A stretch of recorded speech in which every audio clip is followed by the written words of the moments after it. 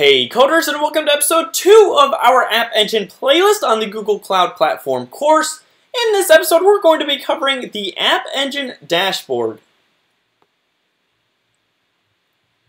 Whenever I create an App Engine application in my own personal work, the three resources which I take advantage of most often on the dashboard are current load, billing, and any application errors. So those three are going to be our top three topics for today.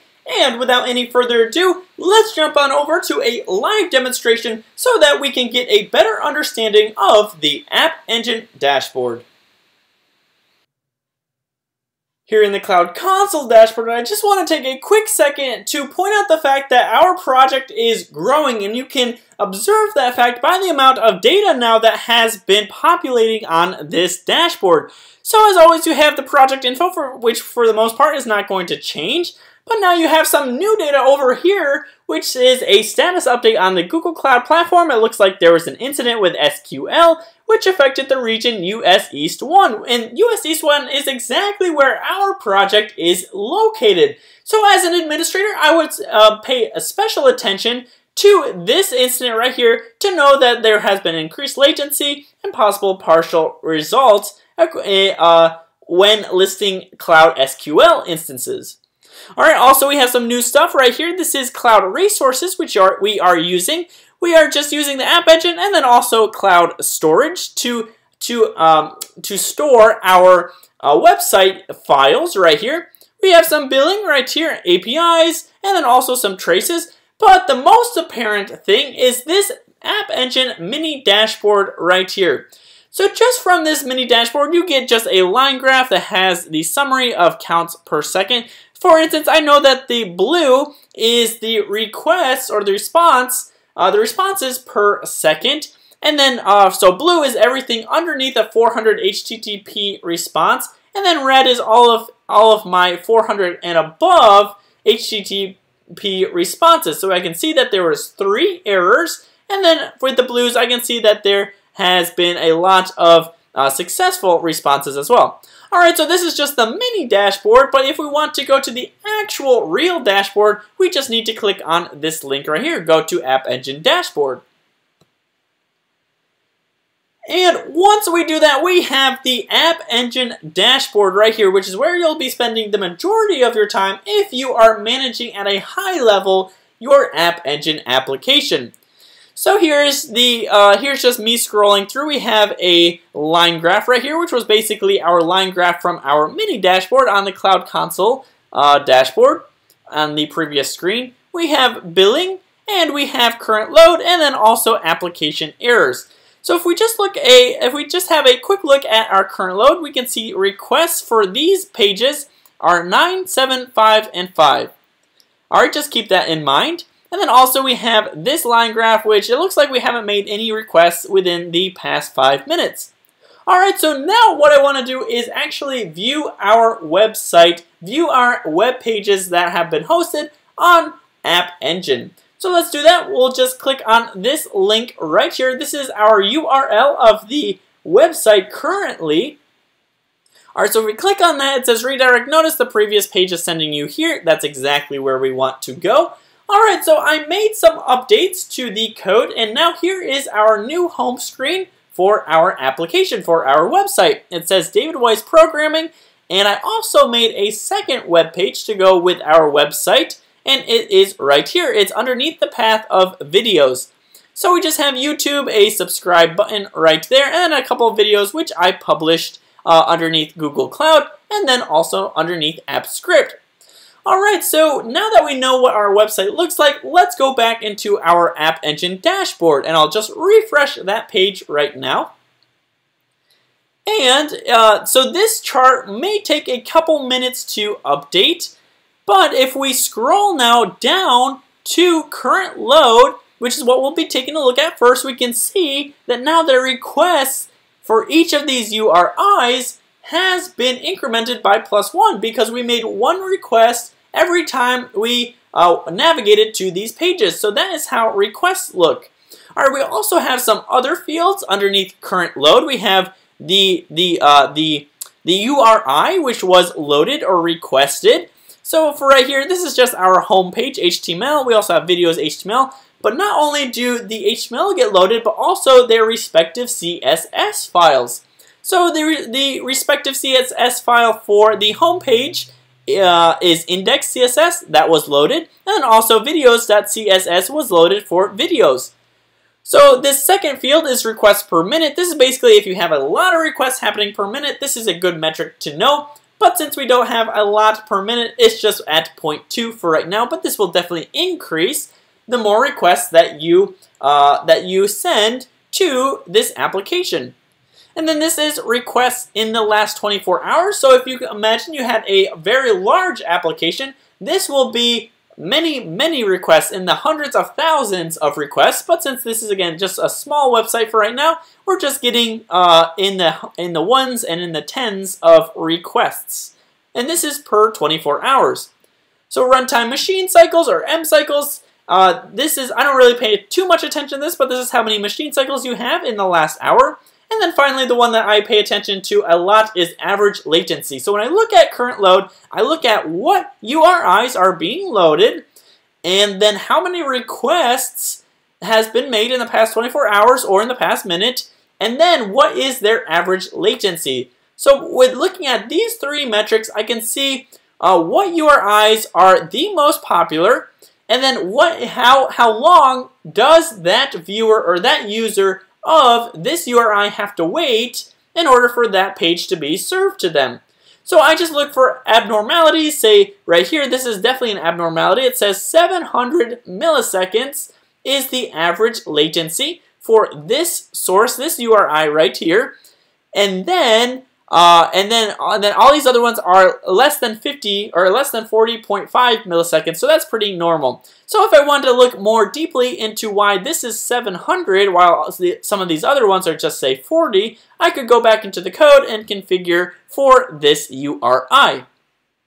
Alright, so that is current load. Now let's look at billing status. So for billing status, this shows you the resources which are used uh, on your App Engine application and if and, and if they are being built, how much is that costing you? So this last column is how much it's costing you. As you can see, right now I'm running a completely free app, and that is because none of my uh, resources are being billed. So we can see some usage right here, uh, 1.26 instance hours or 0.00072 gigabytes, but we can see that none of that is actually being billed. Um, if they were being built, then this would be per unit. Uh, so per instance hours right here, that'd be one per instance hour. And then we could see the, the, the rate at which they are being built. So for this resource in particular, it's only 5 cents an hour, so that's not that bad. Uh, that's not even that bad. Alright, so if you want to do some more research on, on what what what do these resources actually mean, and then the quotas, like how much, how many uh, usage hours or instance hours do you have before you exceed the free uh, the free quota, then you can always hover over this question mark and go to App Engine Quotas. So this is a very long page, but I would actually recommend that you read some of it because there's a lot of useful information. So for example, let's say that you wanted to read more on front-end instance hours. Well, you could go into this, this documentation right here, and I know that it is underneath deployments, right here underneath instance hours, and I see that instance usage is built up uh, by instance uptime given at a hourly rate. But if I read more, I can see that there are separate free quotas for F or front end and B for back end instance classes. And for the front end instances, that we have the free quota of 28 free hours per day. And if we look right here, we can see that we are well underneath that free quota, or well within that free quota, uh, and we have 1.62 instance hours. So this gets reset every 24 hours. The next reset is in 11 hours, so we will have plenty time uh, for this to reset before it even gets close now to our 28 free hours a day. And if it does ever uh, exceed 28 hours a day and we have set up billing, then it will only be 5 cents an hour, which isn't even that bad. Alright, so that is billing. And now let's take a quick look at our application errors. So application errors are very helpful for when you want to know what errors are actually happening and if you have, say, like a a, a call center and people are, are saying, hey, I'm getting errors when I go to this website, then they will definitely uh, appear right here. So let's intentionally cause an error just to see, as an example, uh, an application error.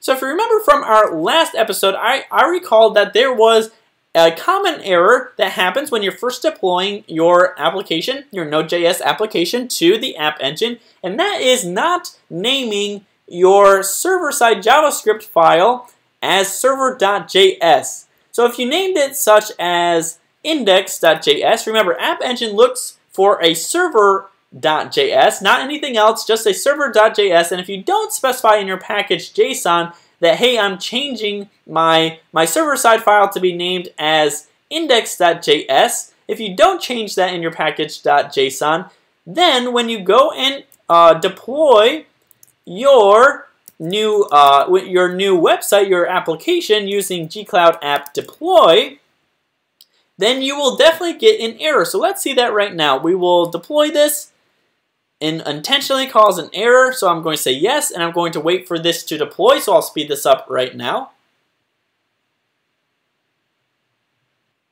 Alright, so we have just deployed a buggy Node.js application to App Engine, so let's go check that out right now. If we go back into our website right here and go to the home page, I'm going to delete that and then go to our home page. We can see that now we get a server error, and that was completely expected, but let's go into our dashboard right now. So if we refresh this page right here,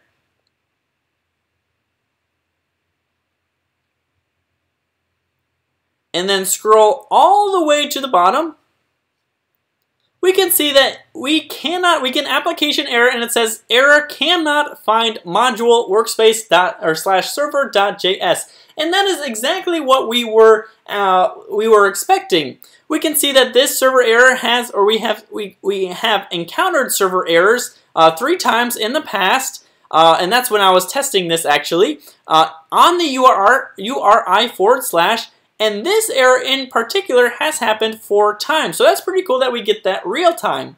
If we want to actually investigate this error a little bit more closely, we can follow this link.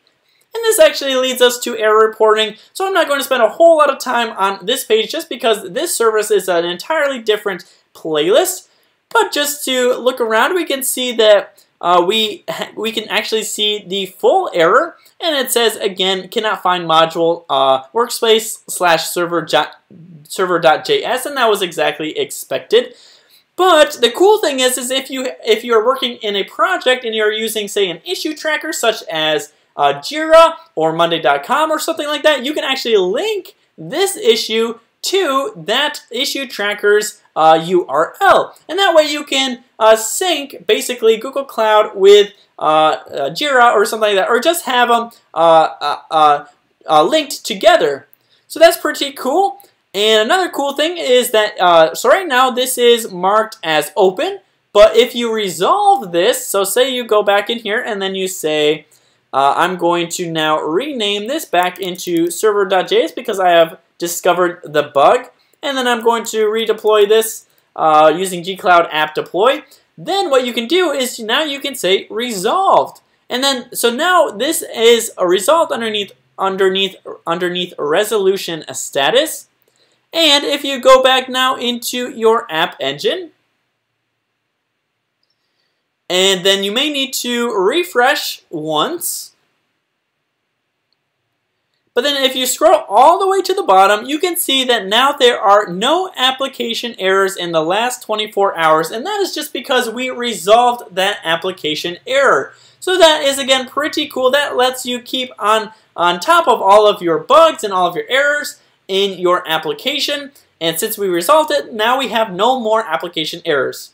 Alright, so the last thing I want to do before I close out this video is just take a look at this graph right here. So this is the line graph that was basically our mini dashboard. As we can see, we already can uh, we already have a some a new request that has been made while this video was uh, running, and then we can change, say, the time frame that we'd like to see uh, this line graph in, whether it's a day or the past week or the past hour.